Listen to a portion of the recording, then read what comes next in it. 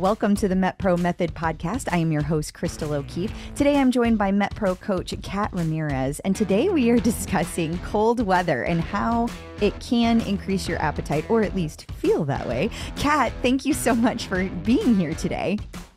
Thank you so much for having me back again. I always love being here. And um, this is actually something that I was excited to talk about because I have had some experience with this um, both on the kind of like living somewhere cooler and darker side of things, and then also with um, cold weather sports. So this is a an awesome topic to be covering.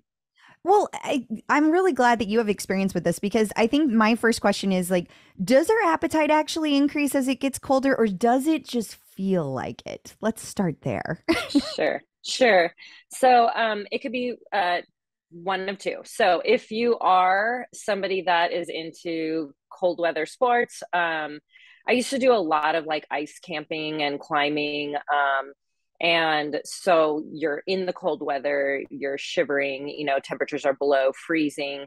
Um, then yes, you are actually expending quite a bit more calories and you do need that extra food. Yes, 100%.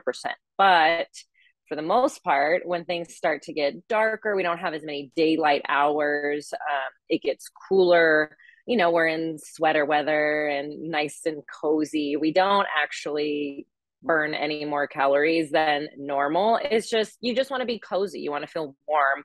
Um, you know, you're maybe not doing as much as you would during the months where it's warmer outdoors, not moving around as much. And so, you know, maybe that, that kind of sedentary nature creates the like well i'm bored but i'm hungry you know? So um it could be a, a number of things. The other things um that we can also you know touch on absolutely is like you know we don't drink as much usually when it's cold.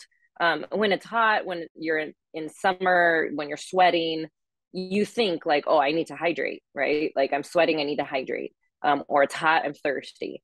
But when it's cold, you're not sweating. Um, and so you kind of just forget to drink. Um, or you're like, oh, I think I'll have another cup of like cafe or something like that. And then you just kind of get stuck in these like dehydrating drinks that you're not really um, hydrating yourself. And that can be confused with hunger as well. So, to answer your question, yes and no, but more often it's no, we don't actually need more. Um, okay. But we need to maybe think about making like better cozier choices right? Yeah it's, it's, interesting that you say that. So i live in the midwest and so we get some crazy weather swings. Um, sometimes like yesterday it was a high of 80 but the low last night was 40 um, and that's a pretty big swing for in the middle of the the day. So like when you wake up in the morning the fireplace is on because we have of course like the the fake fireplace but it still lets off yeah. heat so it's still very cozy. I want an extra cup of coffee coffee, I want sweaters, and then by the afternoon I'm ready to to go outside and do something because it's really nice out there. But but you're totally right. I ran outside yesterday morning and it was 45 degrees and I totally forgot to drink water when I got back because I it didn't yeah. feel the same effort level as it does when it's like 85 when I'm, you're running even though it was only a couple of miles. I didn't feel the need to drink water. Yeah. Yep, 100%. So um you know and, and then we also want to think about well where are you living? Like i so um we got orders to be stationed in uh, washington not washington d.c washington state um, from north carolina. So we went from tropical like beach town to washington. Oh. and i had never lived anywhere where it was like cold. That dark or cold like all the time. So for me i was like that's washington. Like it's the west coast. Like this is great. You know like the mountains the woods. Like I, i'm from northern california originally. I'm like that's great. We love that stuff. So used to the scenery. I was not prepared for the fact that it's like dark all the time. Yeah. and so i I mean, I was pregnant at the time, so that also was a factor. But oh, geez. I, but I was just kind of like, I don't know what to do with myself. Like, I just, I guess you just kind of hunker down. But it was so gray all the time. I mean, literally, people would be like, oh, the summer is amazing. The summer is amazing. We had like a freak short summer and it was literally sunny for an hour a day from like 3 to 4 p.m. No. Like 3 to 4 p.m. is So you have to wait the whole day. And then 3 to 4 p.m., you're like standing outside in the sun. so, you know, like 100%, I just wanted like cozy, warm food all the time. So, so things that we can do for that, right? Yeah. Is it we can absolutely have those cozy items, right? And still be eating to plan or you know relatively to plan depends on like what your specific goals are right and what you're working on and if you're working with a coach and what all that is right how strict we need to be. But is, is there know, a goal for is there a goal to have hot cocoa every day? Is that a goal? So we can actually do that and i'll tell you how to do that. So so drinking things like that so um something that's like warm and cozy um I like to do vital proteins, um, collagen peptides, and it's chocolate. I've been talking to a lot of my clients about this lately because the weather's shifting in some places. And two scoops is going to be just a tiny bit over uh, 15. It's about 20 grams of protein. So one scoop is only 10 grams of protein. I do it in like this size cup, and I do one scoop and then I just use hot water. But you can also do like unsweetened almond milk to make it a little creamier. I'm not even kidding. It is so chocolatey with just the one scoop. You're getting 10 grams of protein. There's nothing else in it um, that's going to like throw anything off. And you can just kind of end your night with that. It's something a little bit cozy and sweet. I do. Yeah. Okay. So, yeah, I just so like use a tea kettle. Oh, oh, that's what I was going to ask. Like, how do you warm it up appropriately? You know, so it doesn't do that weird thing where it like scalds it and then makes oh, it. Oh, it scalds it. Yeah. Yeah. so I just use a tea kettle because I use water. So I just put the protein inside and use a tea kettle with uh, hot water. But if you want to do um, the almond milk, then just heat the almond milk until it just like is about at a boil, and then pour it in top or like on top of it. And you can do like a little cinnamon stick if you want um mm. in there as well. So that's something a little warm and cozy treat. Another thing I love um this time well, I love it all the time, but um especially this time of year, I'm a big ginger person. So I'm like I tell people I'm like a type A hippie.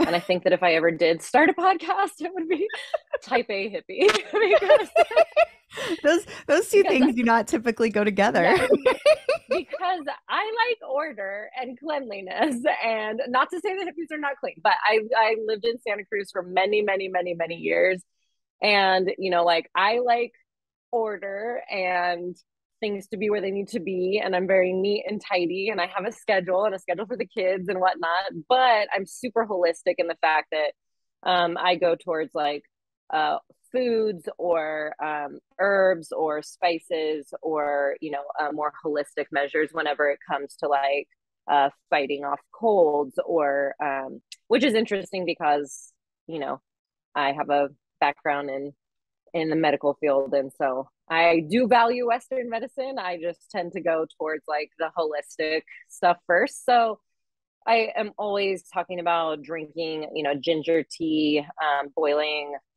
fresh cut ginger um, with a lot of lemon in there. Um, you can do some like echinacea drops in there too if you want. Um, and that's not going to add anything to your day or your macros if that's what you're focused on. But there's a lot of health benefit. It warms the blood, um, basically. And then cooking with a lot of like ginger and garlic to warm the blood um, to um, keep your body healthy and and fighting off whatever might be floating around. So those are nice cozy things that you can incorporate as well. Um, the the herbal teas are totally fine um, as long as that's not your sole source of drinking water. Right? We need to also be consuming the appropriate amount of water. I have a super hard time with that, especially in the winter. So I will do hot water and squeeze a little lemon in it and nothing else. And then that's that's a way for me to get in. I will sip a hot drink all day long. Um, in fact, almost all day long in the summer. People kind of make fun of me for it, but um, wait, you um, drink hot drinks in the summer too? I do. I uh, wow. yeah, I, I really love ginger and lemon. So it's That's a problem. Great. So hot all the time. I mean, if um, you're gonna um, have something that you're that's kind of like something you enjoy all day long, that's a pretty healthy drink to have all day long. It's much healthier yeah, than exactly. my go-tos. Yeah. So and then, you know, like other things that are cozy that are totally on plan, like right, your oats, your steel cut oats, that's completely on plan. That's super easy to make cozy. In fact, on our MetPro website, um, we've got recipes and we've got a few different overnight oat recipes on there. Um, I believe there might be a baked oat recipe on there as well. But I mean, those are very, very cozy, very easy to make. You can do sweet or savory with your oatmeal. You can absolutely use it later in the day and make like a savory bowl and put some like microgreens and avocado and like, you know, some other items like that to make it feel more like a bowl. Um, and yet it still has that warming effect. Um, in itself are great using, you know, the sweet potato, the quinoa for the carb, um, some nice warm protein um, whether that's chicken or red meat, or um, you could go towards like tofu or tempeh, and then getting all of your greens in and mixing it all up. Those are really cozy meals as well. Um, eating butternut squash instead of like noodles when you're on a lower phase. If you are on a lower phase, that's great too. You can do really nice sort of like fake spaghetti. It's warm mm-hmm. and cozy and comforting. Um, and then, you know, like your red meat if you're a red meat eater um, eating red meat during the the cooler months um, is also great because it's got a lot of iron in it. Um, we don't want like that iron deficiency. So um, you can do soups or stews mm. Um, with that as well. And i believe on the recipe site on our website we also have like a, a winter soup section or um, and we've got a few good recipes there. Lentils, if you're vegan, is amazing too. So all those things are so nice and cozy to eat. You can absolutely enhance your eating experience during the winter with those and stay warm. Um, when we eat, when your body is digesting and processing it, right, that that um, creates a heat in your body, and so a lot of times people eat because they feel cozier or warmer after they eat. It's not necessarily not, not necessarily the eating of the hot food itself but your body like digesting it and creating that heat um, in the digestion process. Um, so that's another reason why people might turn to eating more frequently um, in the winter. Okay so so if i'm hearing you correctly it's it, it could just be that whenever we're cold, our body is looking to feel um, a certain way. And by using foods that are warming, it can make us feel as if we're we're warmer but we can mm-hmm. be choosy about those foods we don't have to you don't have to go straight to all the the foods that you grew up with and that right. to get that same feeling um, so I, you gave a lot of really good alternatives for uh, foods that I would probably gravitate toward. uh, yeah. I come from a Southern cooking household, so we have all kinds of things like uh, chili and ham and beans and things like that. Although we have an excellent chili uh, recipe over on the MetPro website at all. Uh, also, if that is something that is your your jam. Um, what about you mentioned whenever you moved to Washington that was a really like uh tough transition i mean that's that's what i took away from that. Was there yeah. um, is that like due to the the grayness? Like was that did you have to struggle with any kind of emotions um, or changes? I know a lot of people do get kind of down during the winter time and and if so was there did you have some like um strategies on how to avoid that yeah, absolutely. Um, I you don't know what you don't know. I've always lived. Um, this is actually the very first time that I've ever not lived on a coast. I currently wow. live in Idaho, so um, I am not on a coast anymore. So, so you know, change. I grew up. Yeah, right. So Northern California, um, Santa Cruz beach, right? Like California weather, and then we got orders to North Carolina again on the coast. So it's a beach town. It's a resort town um, it's very warm and sunny. I spent, you know, every Christmas out on the beach. Um, so, you know, the hurricanes aren't great, but still it's sunny. And then um, orders to Washington. And for me, I had never lived anywhere like that. I I didn't know. I was like, well, Northern California, we get snow, we get cold, right? We have all the seasons. Like it'll be fine.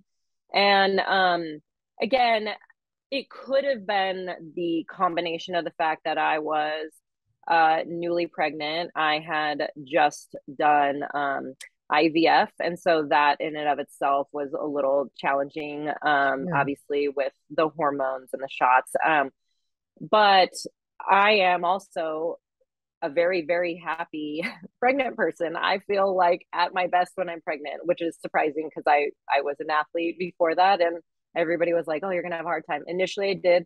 But I am actually somebody that really loves being pregnant. So I was like, well, maybe it's not this. And it was right when COVID happened. And as you know, mm-hmm. like California, Washington, all those things closed down completely. So it was hard to move to a new state and then also kind of like transition into like, well, I can't really meet anybody because it's COVID and, you know, we're indoors and we can't really go places. So, Boy, but that's the, the isolation I, trifecta, yeah, right? Jeez. Yes. And then I really just wasn't used to it being dark all the time. Like, and I didn't realize how much of a sun baby I am. Mm-hmm. And so I, I 100% am just somebody that needs the sun. Um, I don't mind if there's like a winter season, but it was just like a all year gray. Um, and it is gorgeous. And to all my Washington people, like you guys are studs and there's so much to do there. It is very beautiful uh, just for me, I had a super hard time.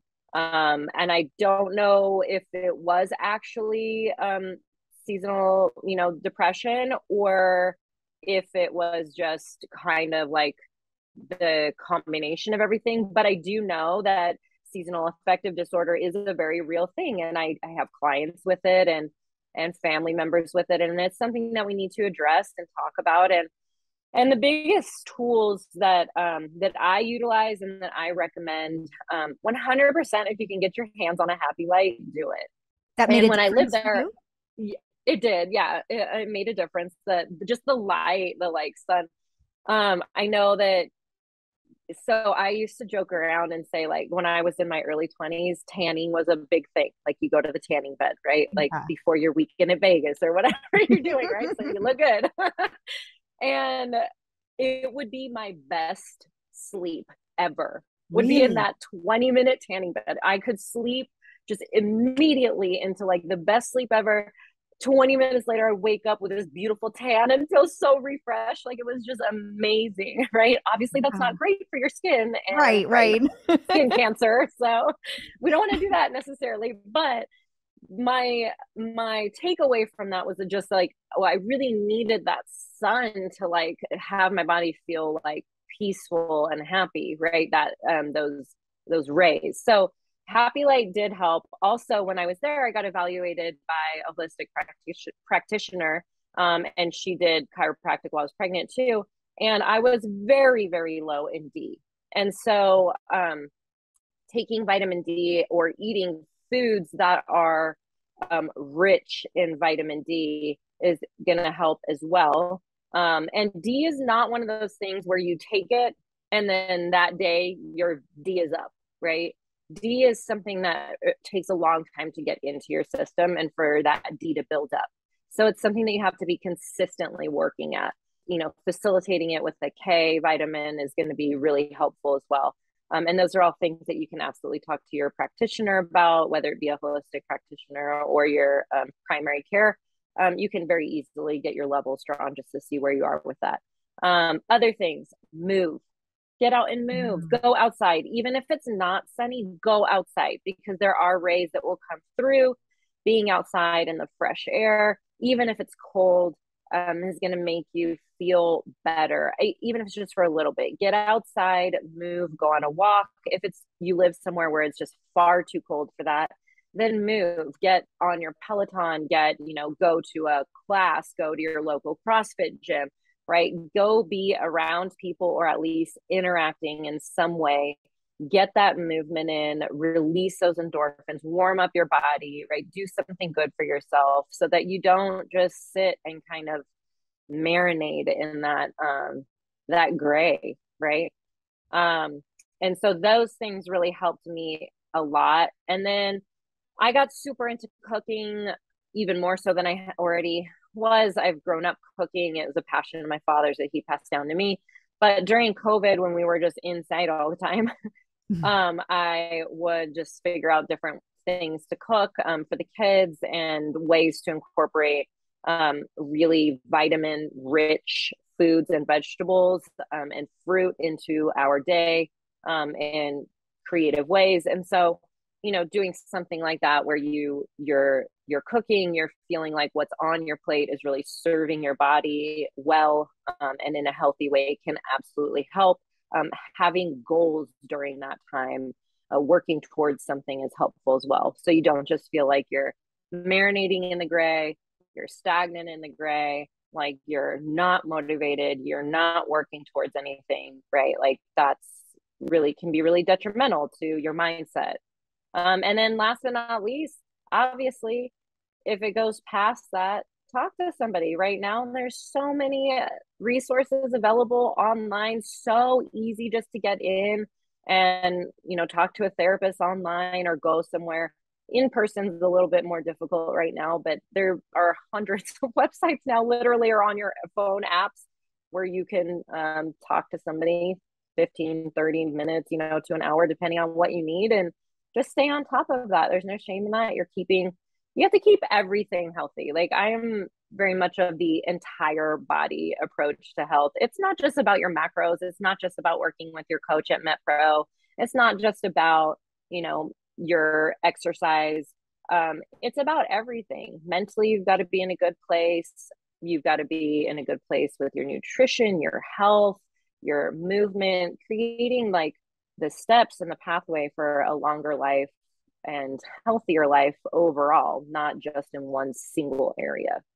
Yeah, I absolutely agree with that. It's and and the thing is is they all build on each other. If you you were talking about like don't marinate in the gray. If you if you move, then you have motivation to work on a goal. You know, like it helps with that. And then having having this goal of something else you're working on, whether it be professional or something, you know, or just personal, having working on that will then give you the confidence and the feel good to go move. Like they work, they build off of each other.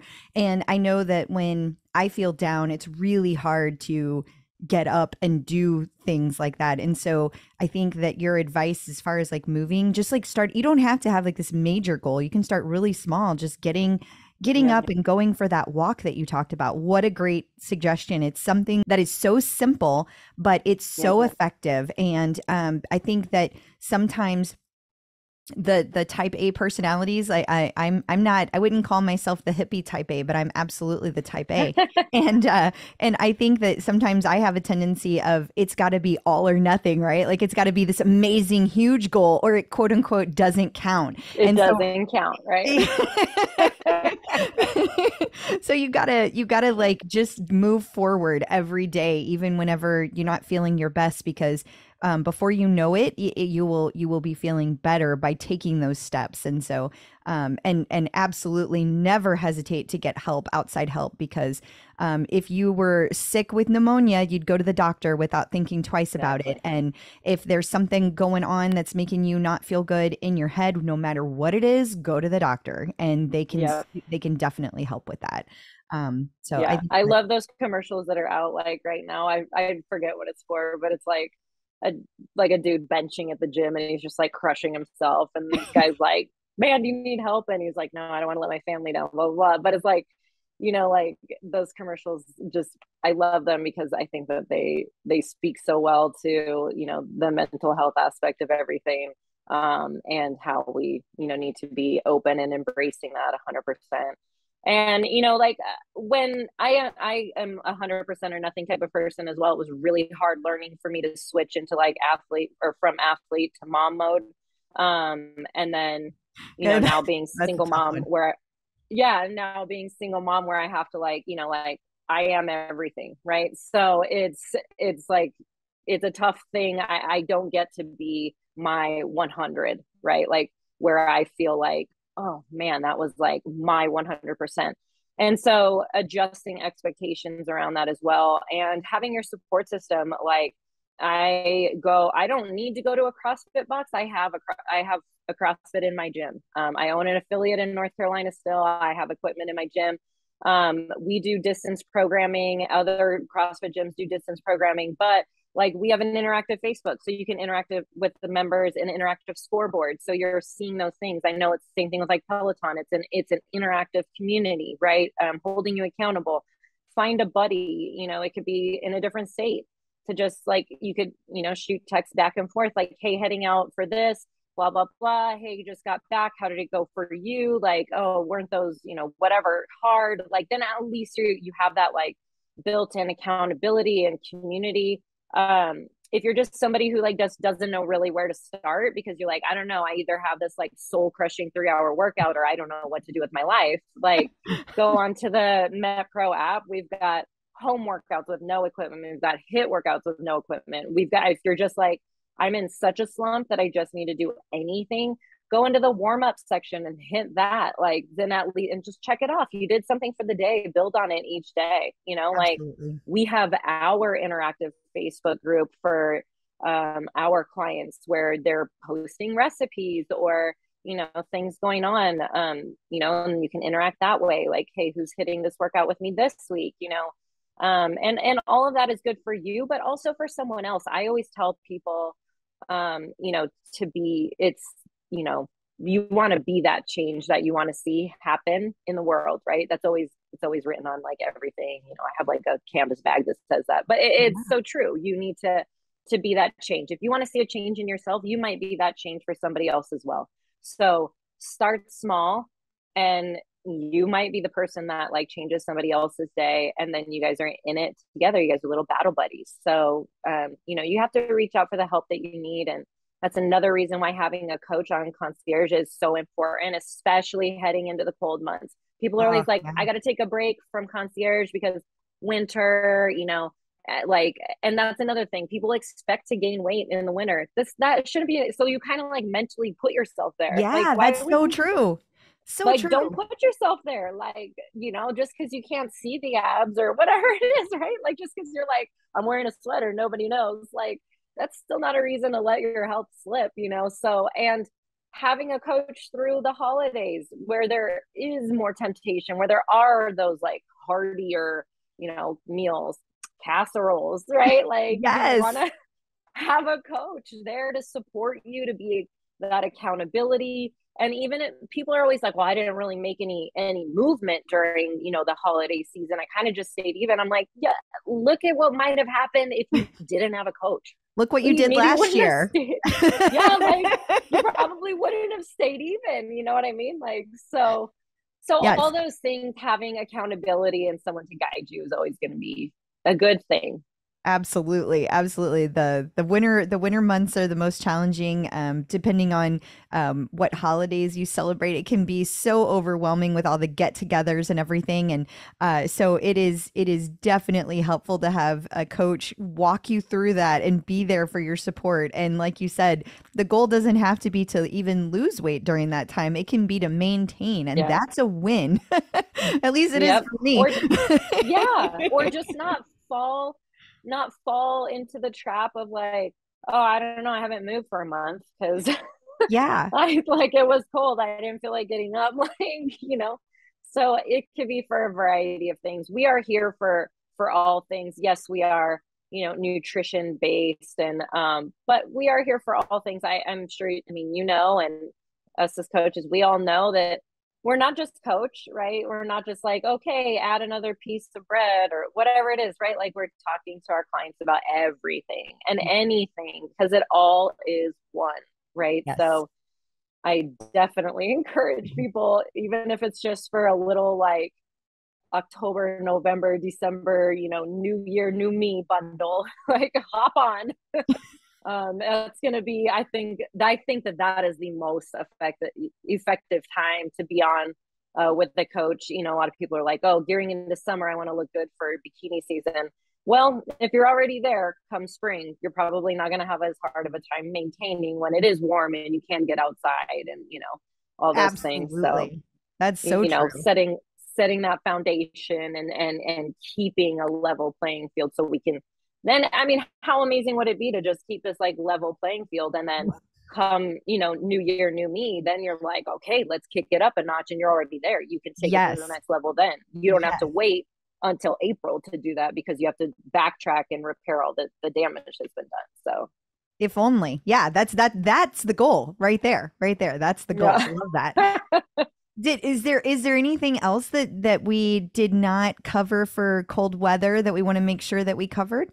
Um, I think you know we spoke to touch on it a little bit. If you are doing cold weather sports or you do live somewhere where it is very very cold and you are still trying to maintain your sport in that cold weather, um, that will definitely require a little uptick um, in calories uh, depending upon uh, the training and the weather conditions and kind of you know what your body is being asked to do um, and that is absolutely something that uh, for for athletes like that i always say talk to your coach because yeah. i mean even even though i know of, of these things when i was competitive i deferred to my coach for everything as a sounding board I didn't try and do anything on my own right like i coach all day um, and I want my coach to coach me um, so that I can be doing what's very best for me. And we don't always know what's very best for us. So, so true. Um, I can guess yourself.